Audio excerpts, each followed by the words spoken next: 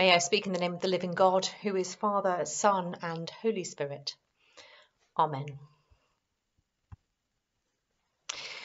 I wonder if you remember all those weeks ago when we were still able to worship in church, and the first decisions we had to face were whether to share the peace by shaking hands, and whether to receive communion in two kinds, both bread and wine, or in one kind, just the bread. It seems like such a long time ago now, almost a world away. In clergy circles, as you can probably imagine, there was hot debate, especially about communion, with some clergy opting for communion in one kind only before it became the instruction from our archbishops. In the conversations and debates, it was interesting how often a position was defended as being the most loving response to the situation. Those who continued to offer communion in both kinds did so out of love. Those who offered the bread only did so out of love. It's hardly surprising that arguments among clerics, and indeed arguments among Christians, are defended on the basis of love given that we work from the foundation that God is love. It's really the equivalent of asking the question, what would Jesus do? Since we believe Jesus is what it looks like to be perfectly loving, asking what he would do should give us the perfectly loving response. You probably won't be surprised to hear that similar debates continue since the closing of our church buildings. While some people are angry and frustrated that Church of England clergy are not currently allowed to enter the churches for private prayer or worship, others are content to conduct worship from their own homes.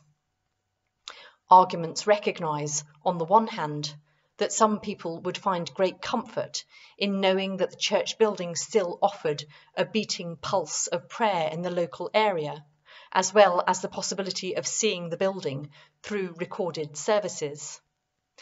And on the other, that the decision was made to ensure that the church set an example of staying at home at a time when this formed a key element of government advice. While there is little doubt that some people miss the church buildings terribly, it is also true to say that some people will have found their understanding of church and worship transformed by more domestic settings. And many others simply make the best of the situation as it is. To which is right? Which is the most loving response? What would Jesus do? This morning's Gospel reading is perhaps the ultimate expression of what would Jesus do. It includes that extraordinary statement of Jesus that he is the way and the truth and the life. If we were ever in any doubt, here Jesus makes it perfectly clear that the way to God comes through following him. And yet, the great challenge of deciding what Jesus would do in any given situation lies in the evidence that we have to hand. The Gospels tell us a great deal about what Jesus did in the three years of his ministry. But he was a man living in first century Palestine. Turning to the page that describes Jesus' response to a global pandemic isn't possible. And while sickness was a feature of the society in which Jesus lived, our levels of medical and scientific knowledge are very different from Jesus' time.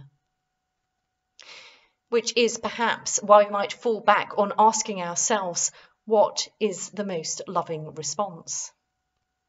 But that doesn't necessarily offer the easy answers we might hope for either. As is so often the case, my mother could have told me that. As many of you know, I am one of three children, and she would often say that she couldn't show her love for each of us in the same way because we are such different people. My particular favourite was when she said it was worth giving my brother his own way because he appreciated it, whereas it was never worthwhile with me because I just felt guilty.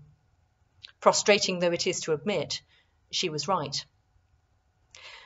loving people doesn't mean that we treat them the same. If we want a simplistic answer to the question, what would Jesus do? It looks like we are going to be disappointed. Let's return for a moment to the Gospel reading itself. A bit of context will be helpful. Of the four Gospels, John's Gospel is the least like the others. It was written last, and while there are distinct similarities between Mark, Matthew, and Luke, John stands alone. It changes the order of some events, notably Jesus turning over the moneylender's tables in the temple and it includes stories that are not to be found in any of the other Gospels, including the wedding at Cana and Jesus washing the disciples' feet.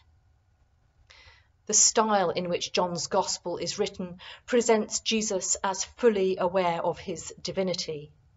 The I am statements are only to be found in John's Gospel. John presents Jesus as fully aware of his identity and destiny. The structure of John's Gospel is also unique. The first 12 chapters are devoted to various signs identifying who Jesus is and showing what he does. Three years of ministry are described and explained in those chapters. And then it is like we hit the brakes. The Last Supper begins in chapter 13, and thus begins a period of teaching, sometimes referred to as the Farewell Discourse, a series of chapters in which Jesus addresses his disciples. This morning's Gospel reading forms a part of that discourse. Just think for a moment about the situation. Jesus knew what was going to happen to him and he wanted his disciples to be able to continue without him. He wanted them to remain faithful followers, to continue to share God's love, to be that love in the world. And what Jesus was doing for those first disciples, he continues to do for us today, offering words of comfort and encouragement to help us in our discipleship. When Jesus says that he is the way and the truth and the life, he knows that doesn't offer us a specific answer to what we should do in any given situation. But what he does offer is guidance and an ongoing relationship as we seek to find out the answer for ourselves. Remember that structure of John's Gospel 12 chapters of action followed by four chapters simply at the Last Supper. Knowing what it means to give the loving response, knowing the answer to the question, What would Jesus do? isn't straightforward. We are called to act, and we are also called to reflect, to ask questions of ourselves and one another these last weeks have put the brakes on so many aspects of our lives. And for some people, that will have enabled them to reflect more deeply, while others will have found reflection impossible. Yet all of us have seen and been involved in all kinds of loving responses, from clapping on a Thursday evening to baking cakes for neighbours, keeping in touch with neighbours to volunteering to support the national effort when Jesus tells us that he is the way and the truth and the life, he doesn't think that he makes our lives easy. But he reminds us of our focus and he guarantees his presence in our lives. Our paths often feel faltering, and we surely make mistakes along the way. But perhaps this is a time when we might above all be forgiving of others and ourselves and continue in our efforts to place the way, the truth, and the life at the very heart of all we are and of all we say and do. Amen.